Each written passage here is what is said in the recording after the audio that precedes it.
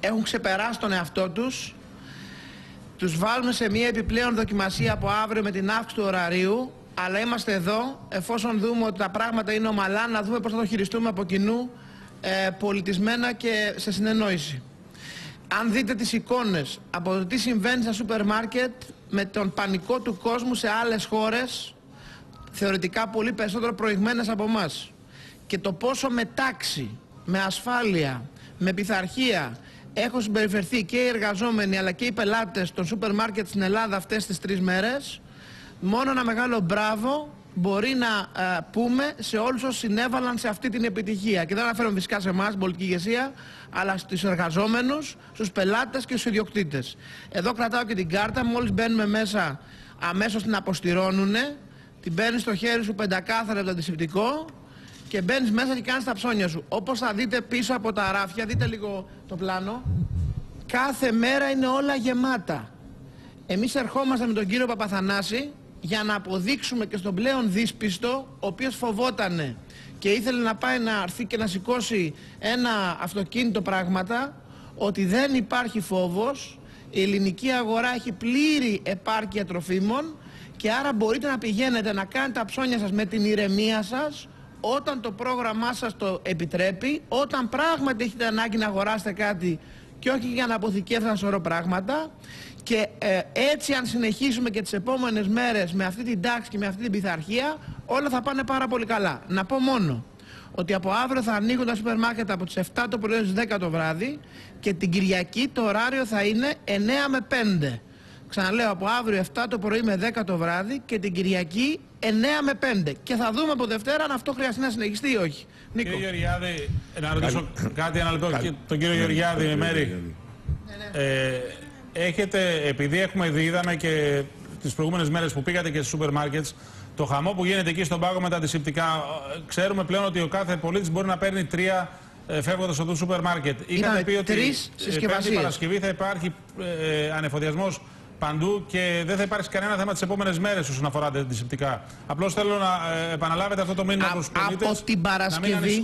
Από την, ναι, από την Παρασκευή ξεκινάει η παράδοση στα καταστήματα μιας μεγάλης παρα, ε, έτσι, μιας μεγάλης παρτίδας από αντισηπτικά διότι έχει ξεκινήσει η παραγωγή σε εκατοντάδες χιλιάδες τεμάχια την ημέρα.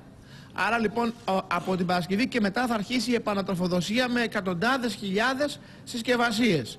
Άρα ναι, Παρασκευή, Σάββατο, Κυριακή θα μαλοποιηθεί πλέον σε κατάσταση. Να πω ότι έχουμε πάρει ήδη μέτρα χθες με τον κύριο Παθανάση στην πράξη νομοθετικού περιεχομένου για να μπορέσουμε να απλοποιήσουμε τις διαδικασίες εισαγωγής εθιλικής αλκοόλης που είναι η πρώτη ύλη για τα αντισηπτικά, ώστε τις επόμενες εβδομάδες, γιατί δεν ξέρουμε πώς θα κρατήσει όλο αυτό κύριε Κοταρίδη, να εξακολουθήσουμε να έχουμε επάρκεια στα αντισηπτικά, άρα δεν υπάρχει κανένα πρόβλημα. Ως προς τις μάσκες, με την καταγραφή που κάναμε στην ηλεκτρονική πλατφόρμα, ξέρουμε πλέον ότι έχουμε μάσκες στην Ελλάδα, έχουμε καταγράψει σε αποθήκες 1.250.000 τεμάχια από μάσκες.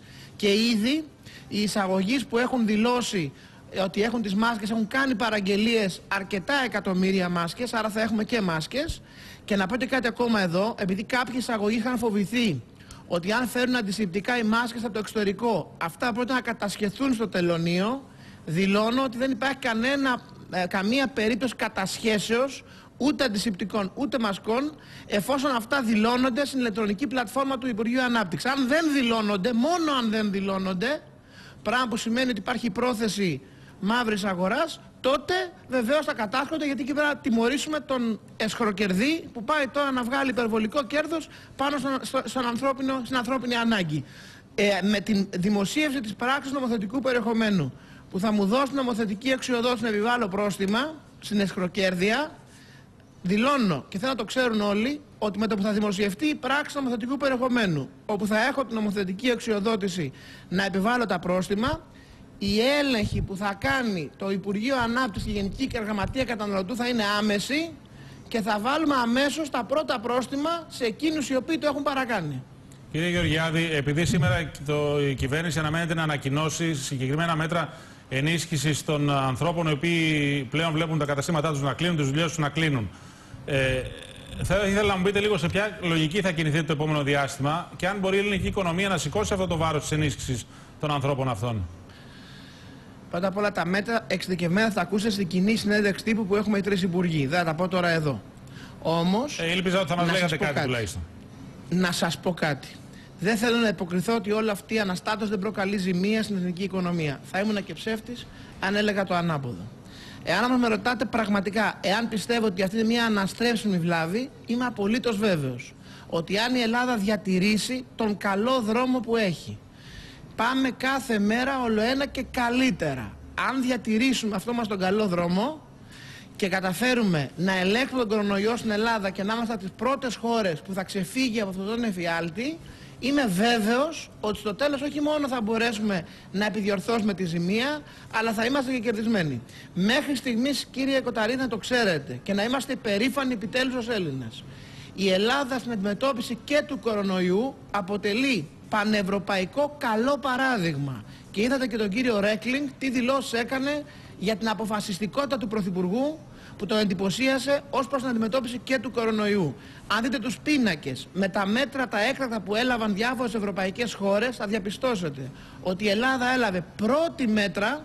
Γι' αυτό και σήμερα η Ελλάδα έχει λάβει υπιότερα μέτρα από άλλους, οι οποίοι καθυστέρησαν και έχουν φτάσει σε εξαιρετικώς ακραία μέτρα έως και απαγόρευση κυκλοφορίας στους δρόμους. Μπορούμε και είμαστε σήμερα σε καλύτερη θέση από τους άλλους γιατί κινηθήκαμε ταχύτερα και πιο αποφασιστικά. Για την ακρίβεια κινήθηκε ο Πρωθυπουργός.